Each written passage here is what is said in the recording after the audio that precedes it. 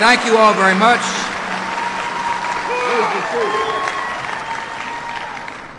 Please be seated, except for those of you who don't have a chair. I've been here before. This was the site of the great pancake flip-offs. A lot of time has passed since I was flipping pancakes in this armory. I want to thank you all for coming. I want to thank my fellow citizens for taking time out of your day to give me a chance to come and talk about issues that uh, confront our country and my strong desire to work with all, all who live in America to make America a safer, a stronger, and a better place my dream is for this country to be a strong country, as importantly, a safe country, and a country in which each of us who live here realizes the great American potential belongs to everybody. I want to thank you for bringing your families out to say hello. I want to thank you for sending some good people to Washington, D.C. I'm proud to call Judd Gregg, my friend, he's doing a great job as the United States Senator.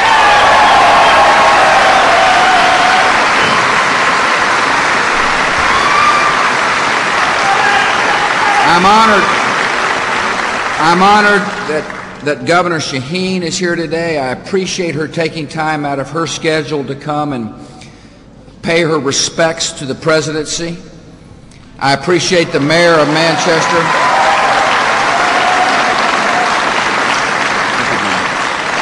I appreciate members of the congressional delegation, Congressman Charlie Bass and Congressman John Sununu for joining us as well.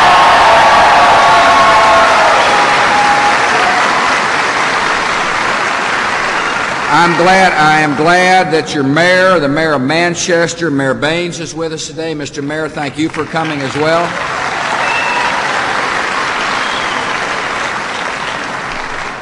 Ray Wieczorek is here, who is on the New Hampshire Executive uh, Counselor. I appreciate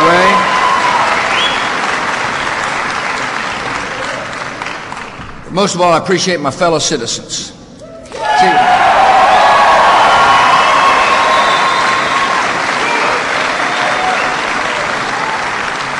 appreciate those of you who are here to work hard to make your community in New Hampshire a, a strong place. I want to tell you one of the things on my mind, and it's uh, I worry about people being able to find work in America.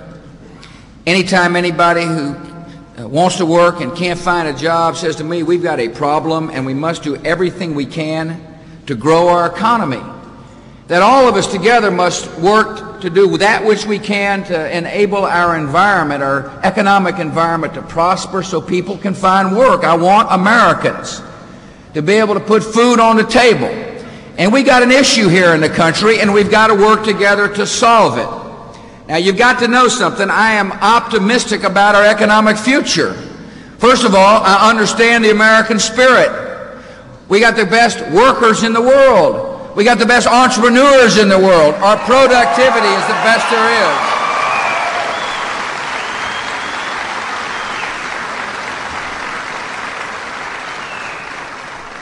Interest rates are low. Inflation is low. The, the, the, foundation for growth is solid. But it's not good going good enough. Yesterday we had a good report. The unemployment rate dropped across the country. But it's still not good enough, and we ought to continue to do that which is necessary to grow our economy. And I've got a couple of ideas, and Congress can help. I readily concede. Uh, my vision of government is not to create wealth but to create an environment in which the small business can grow to be a big business, in which the entrepreneur can realize his or her dreams, in which our producers can find markets. The job of government is to create an environment in which growth is, is possible. That's why I am such a strong believer and strong advocate of letting people keep more of your own money.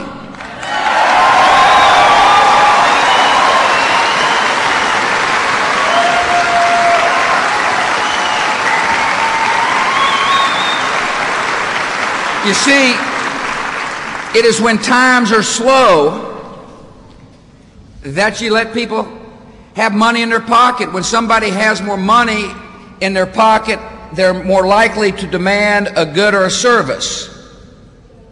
And in the marketplace, when somebody demands a good or a service, somebody is likely to produce the good or a service.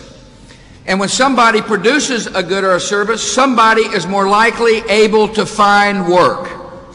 Tax relief came at the absolute right time. But the reason I'm still talking about it, the reason we have to talk about it, is because there is a quirk in the Senate rules. On the one hand, they giveth, on the other hand, they taketh away. Because after 10 years, the tax relief package ends. All the relief that had happened resorts back to the way it was prior to last year. Now, I know that's hard to understand. That's one of those Washington things. But for the sake of economic vitality, Congress needs to make the tax cuts permanent.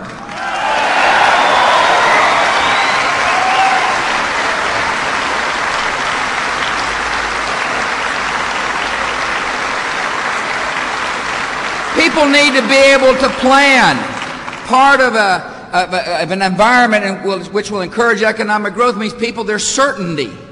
And there needs to be certainty in the tax code. You can't have a tax code that one way for a while and reverts back. That's not certainty.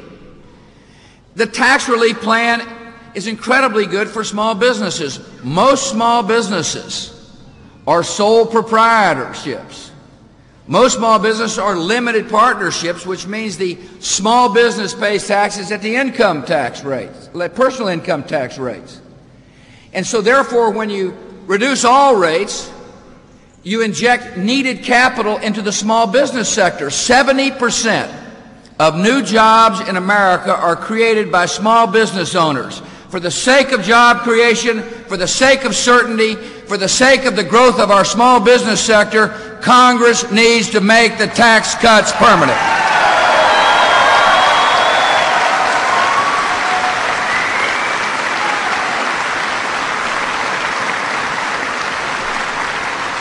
A stronger America, a stronger America is one in which people can find work. We have got a problem when it comes to construction projects in America. The terrorists hit us, and now a lot of folks who want to put steel in the ground uh, can't get insurance.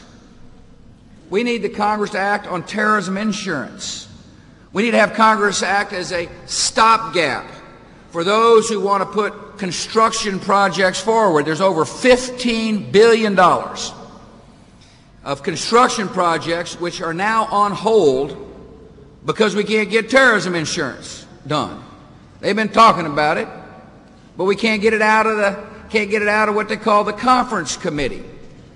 $15 billion worth of projects are stalled, which means 300,000 jobs. My call to Congress before they go home for the sake of jobs, for the sake of putting hard hats back to work, for the sake of letting people have a chance to put food on their table, we need a terrorism insurance package which does not reward trial lawyers, but does reward the hard hats of America.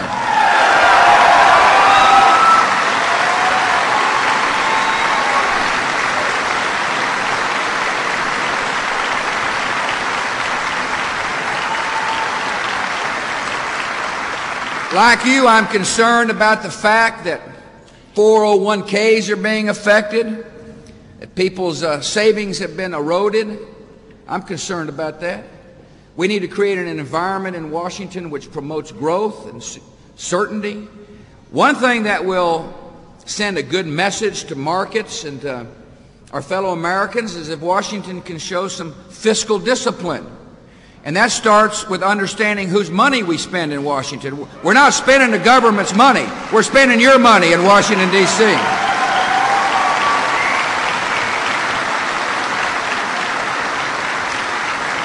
See, we need to set priorities. We need to set clear priorities. Winning this war on terror and protecting the homeland, making sure our kids get educated. We ought to set priorities.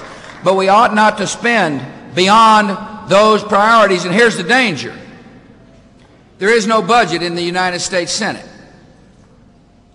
You see, if you don't have a budget, guess what can happen? Particularly in an environment in which every idea sounds like a great idea. See, in Washington, every idea sounds wonderful. The problem in that town is, is that the price tag usually runs in the billions. Without a budget, there is a danger that the Congress will overspend. I submitted a budget that shows us getting back to balance in a reasonable period of time if there's fiscal sanity in Washington. For the sake of job creation, for the sake of uh, improving the economic environment here in America, the United States Congress must fund our priorities, must not try to get reelected with extraneous spending, and must remember whose money we spend in Washington, and it is the people's money.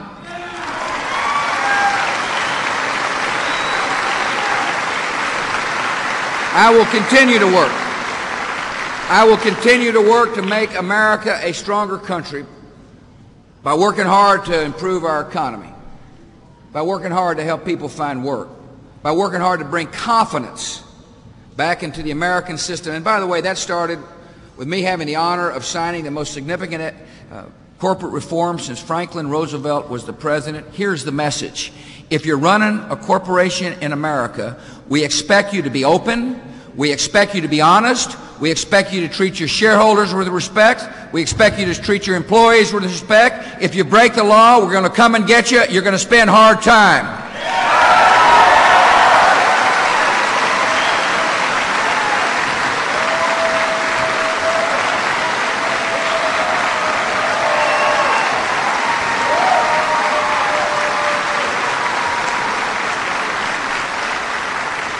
Want to work hard to make sure America is a stronger place, but my most important job is to make America a safer place.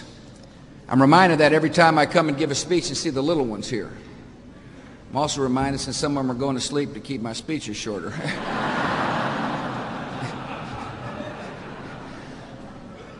I want you to know that I say we have to work to make America a safer place because there is still an enemy out there who hates America and they hate us because of what we love. They hate us because we love freedom in America.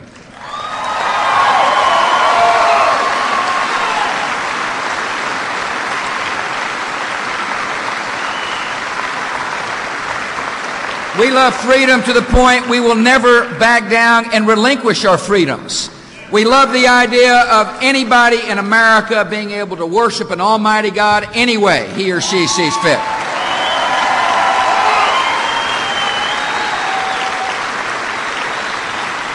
We love the fact that in our society there is discourse about, about elections and politics. There's a free society, has open debate. We love that. We love a free press. We love everything about our freedoms. And that's why the enemy hates us. It's hard for some youngsters to understand that. But you just got to know there are people that don't value life either. See, that's one of the things that, that differentiates us. America says everybody counts, everybody matters, every life has worth. Everybody is precious in the eyes of the Almighty, and our enemy is willing to hijack a great religion and murder innocent life without caring.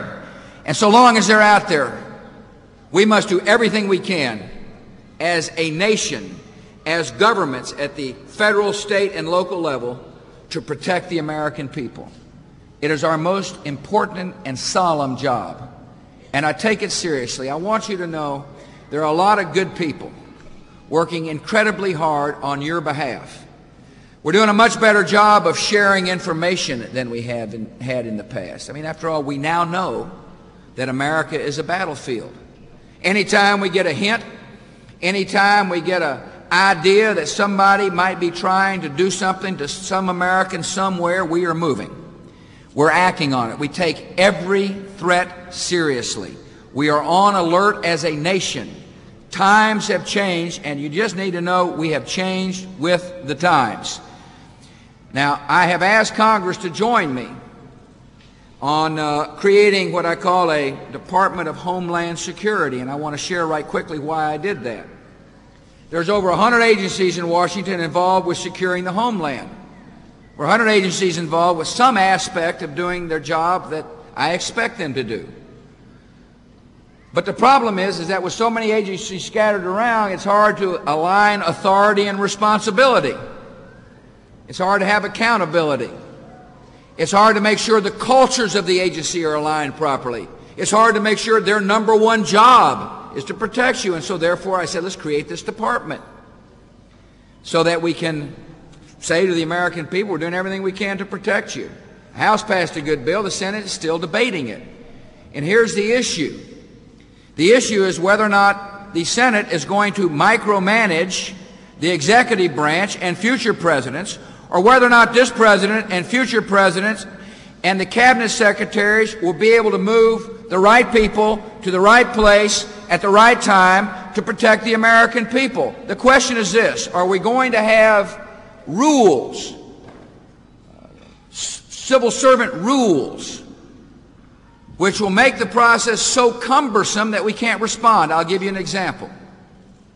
The Customs Service uh, thought it appropriate that our inspectors wear uh, radiation detection devices on their belts. That makes sense. If you're worried about weapons of mass destruction coming into America, you want your inspectors to have the, the tools necessary to do their job. The union said that they needed to have a negotiating session. They need to go to collective bargaining as to whether or not the inspectors ought to be told to wear this, whether or not it be involuntary or voluntary. That would take a long time to settle. Nothing wrong with collective bargaining rights. I'm all for them, but I'm, what I'm not for is work rules that prohibit us from doing the job of protecting the American people.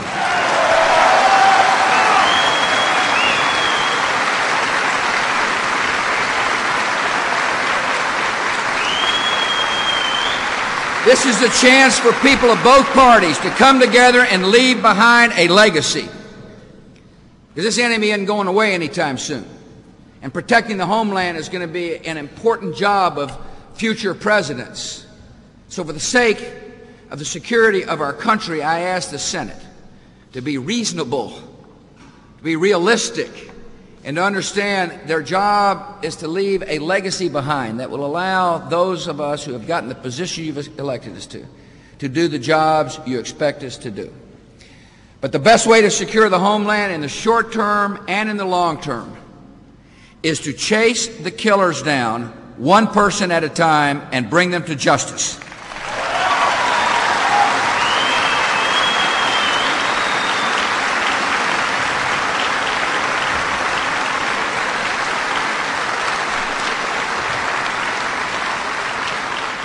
And that is what we're going to continue to do. This is a different kind of war. We're not used to this kind of war we fight. In the old days, it used to be you could destroy an enemy's tanks or airplanes or ships and you're making progress. People we fight don't have tanks or airplanes. These are cold blooded killers who hide in caves or the dark recesses of certain cities and send youngsters to their suicidal deaths.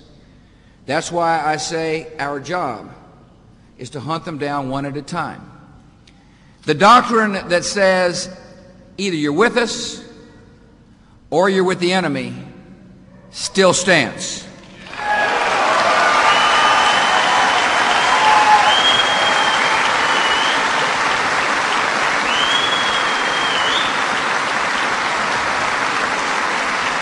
And as a result, as a result, there's still a coalition of freedom loving countries that are after the killers.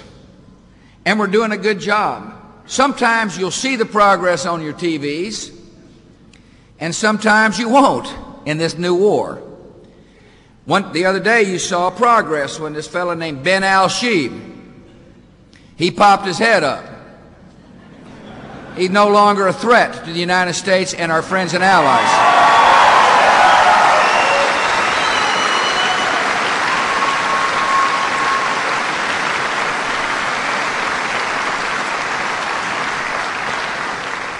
He was the man who thought he was wanted to be the 20th hijacker. Bragged about the fact that he wanted to be one that was able to kill thousands of our citizens. We're calling them in one at a time. I bet you we've captured over a couple of thousand of them. And like number hadn't been as lucky.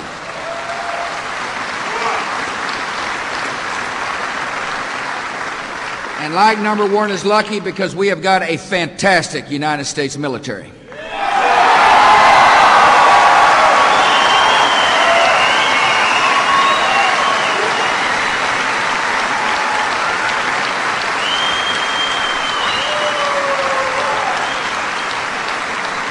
I want you to know I have great confidence in the men and women who wear the uniform of the United States. I have great respect for the men and women who wear the uniform. For the loved ones of those who wear the uniform, I thank you as well for your sacrifice along with theirs on behalf of a grateful nation.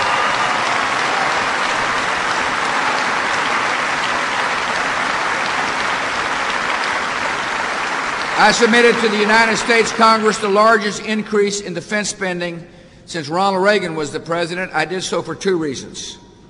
One, anytime we send our youngsters into harm's way, they deserve the best pay, the best training, and the best possible equipment.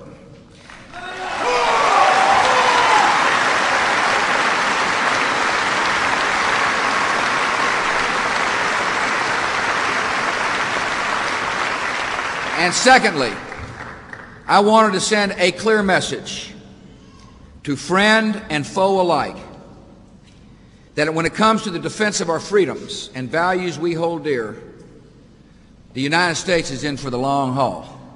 There is no calendar on my desk.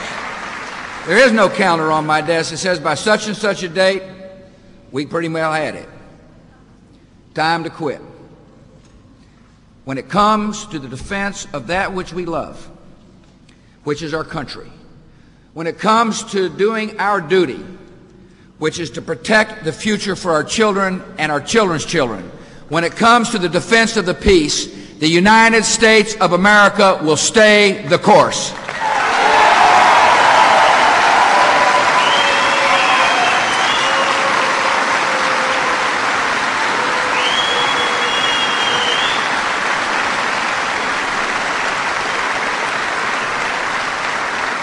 I have sent that bill to the Congress. It hadn't made it to my desk yet. We are at war. I expect to get the defense bill, the defense appropriations bill, on my desk before the Congress goes home. For the sake, for the sake of sending the right message, Congress should not play politics with the defense appropriations bill.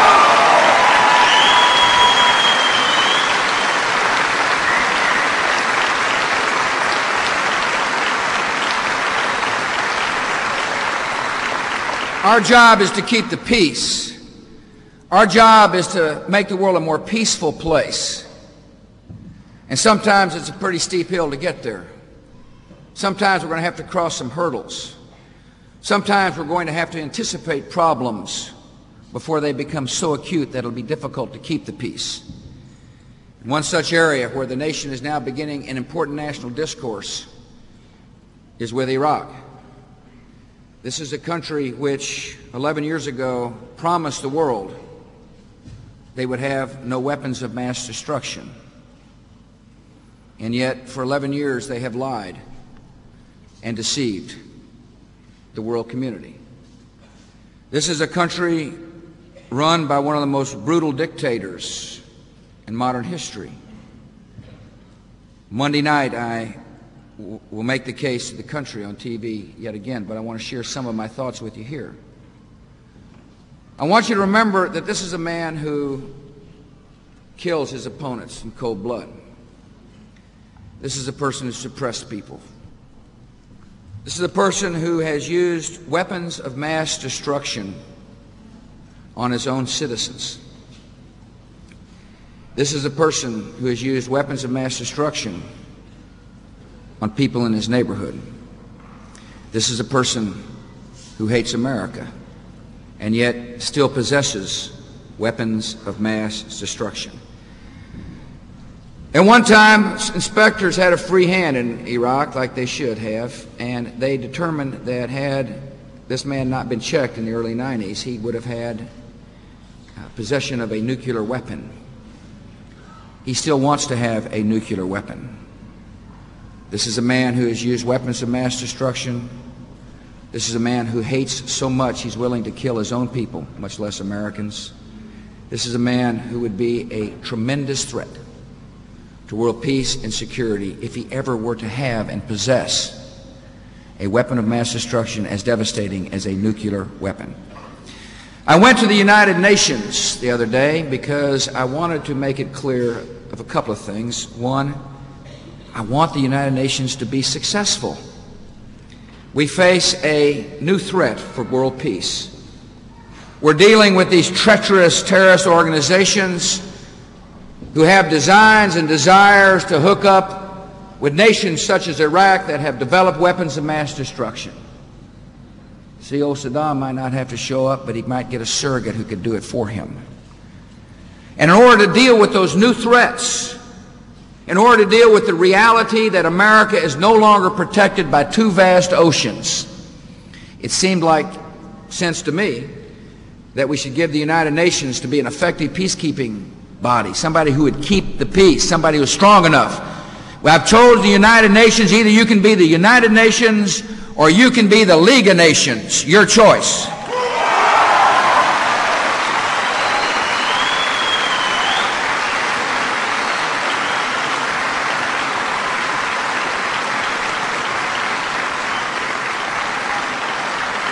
16 different times the United Nations, an important world body, has said you must disarm. 16 times. And he's defied them all 16 times. He's lied and he's deceived. And so now the choice is the United Nations to make. The choice is also Mr. Saddam Hussein's to make. See, there's no negotiations. There's nothing to talk about. We don't want you to have weapons of mass destruction. You agreed to that. You said you would agree to that. Now you got to show the world you don't have them. It's up to you, Mr. Hussein. Nobody likes war in America. We're a peaceful nation. Nobody wants there to be war. On the other hand, a lot of folks, Republicans and Democrats, people who could care less about political parties, now are beginning to understand the true threat. In order to keep the peace, Mr. Hussein and the world community must work to disarm him. And if they won't, I will lead a coalition of nations, like minded nations, to send a world that we long for peace, send a message we long for peace in this world. And we not, will not let the world's worst leaders threaten, blackmail, hurt America, our friends and allies, with the world's worst weapons. We owe this to our children. We owe it to peace. We owe it for a peaceful world to deal, to deal with the threats we see. We cannot ignore history. We must not ignore reality. We must do everything we can to disarm this man before he hurts one single American.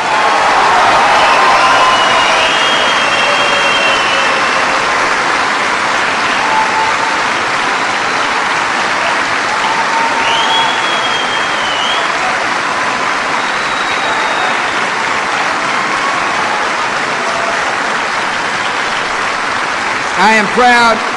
I was, uh, I was proud the other day to stand in the Rose Garden with members of both political parties who agreed that this man's a threat. Both political parties. We had the Speaker, and we had Dick Gephardt. From the Senate, we had Trent Lott and Joe Lieberman and John McCain and Evan Bayh, Republicans and Democrats alike. We're working on a resolution so this country can speak with one voice when it comes to the defense of our freedoms and our desire for peace. This is not a issue of political parties. This is an issue of, of national concern. I look forward to hearing the debate. I welcome the voices on all sides. I understand. I understand the need for there to be a good and honest and open discourse on peace and security and freedom. And as we work to secure the peace and to make country, country a stronger and safer place, we've always got to remember to make America a better place too. A better place for every single citizen who lives in this country. That starts with making sure that every child in America gets an education. Not some, but every child.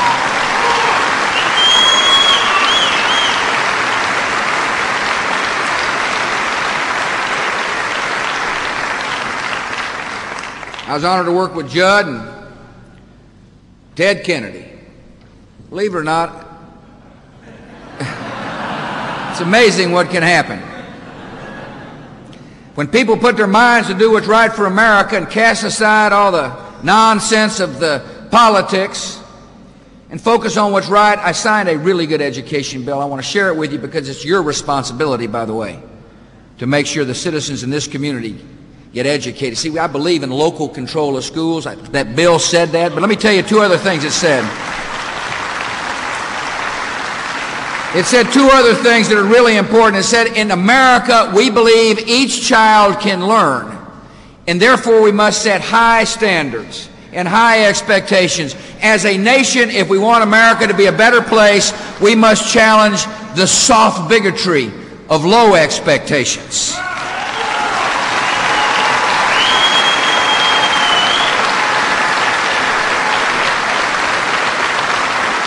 And you see, if you believe every child can learn, if you believe that, and you got to believe it, you just can't say it.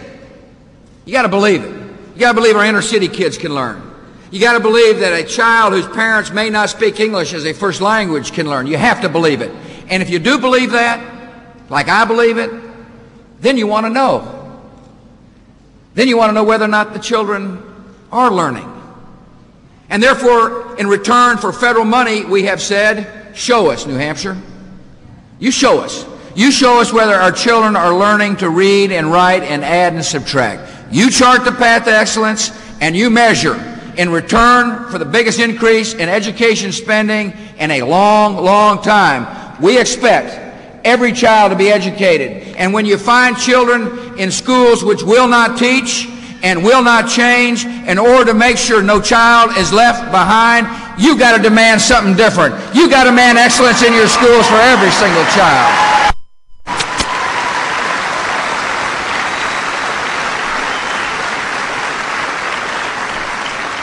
A better America is one that recognizes that medicine has changed, but government programs like Medicare haven't.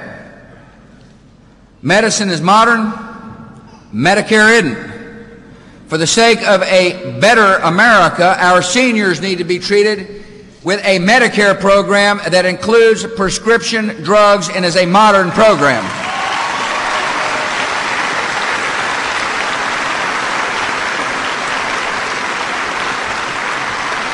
But see, one of the things that you've got to understand about government, government can hand out money. But what government cannot do is put love in a person's life. What government cannot do is put hope in hearts. And that's why, in order to make sure that America is a better place, we've got to really unleash the great strength of America. And the great strength of this country is the people of this country. The great strength of America uh, lay in the hearts and souls of our fellow Americans. Today we are honored, and I was honored uh, at the airport there to, to greet uh, Bonnie Monahan and Patrick Frazier. They are two, uh, two of our fellow citizens. Bonnie is the vice president of the Timberland Company, uh, and Patrick works for the uh, City Youth City Year Youth Service Corps. And the reason I bring them up is there's two examples about what I'm talking about about the great strength of the country. Timberland uh, offers employees 40 hours of paid leave to volunteer in their communities. This good company this company, which uh, is doing their best to, to look at the bottom line, also understands the bottom line is more than just dollars and cents. The bottom line is being a good citizen. They provide paid leave for people to be involved with helping our community be a better place. They got uh, City Year Youth Service Corps, who are Freedom Corps volunteers, kids who understand we can save America one heart and one soul at a time. Working in Timberland. I want to thank the City Corps and I want to thank Timberland for coming. I want to thank you all for being here. See, it's an important signal that one person can't do everything, but one person can do something to be a part of changing America. People have often asked me, what can I do to help in the war against terror? You can join the war against terror and fight evil by loving your neighbor just like you'd like to be loved yourself.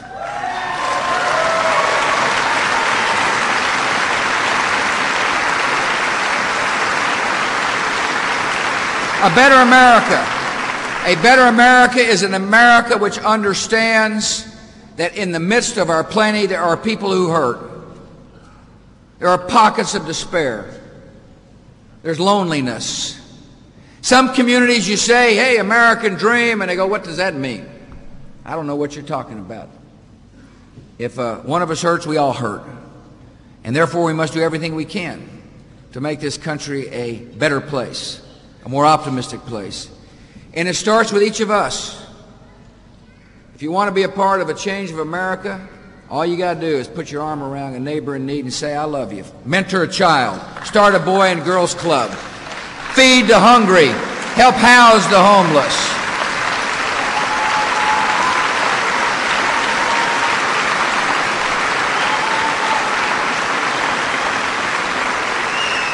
And it's happening in America. The amazing thing about September the 11th, a day in which we still grieve as a nation. We still send our prayers to those whose lives were completely disrupted. But this nation is so strong and so confident and so good. Instead of being cowed by the enemy, we rose up. Out of the evil done to America is going to come some incredible good. I don't know what was in the mind of the enemy. They must have thought we were so selfish and materialistic and self absorbed that when they attacked us, we might file a lawsuit or two. Instead, what they're finding out about this country is we love our freedom.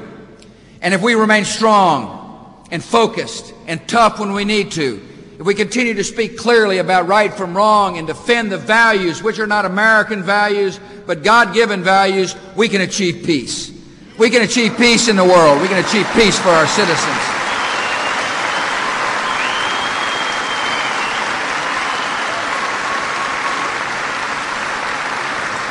And here at home, and here at home, if we remember the definition of a patriot, it's something more than just putting your hand over your heart.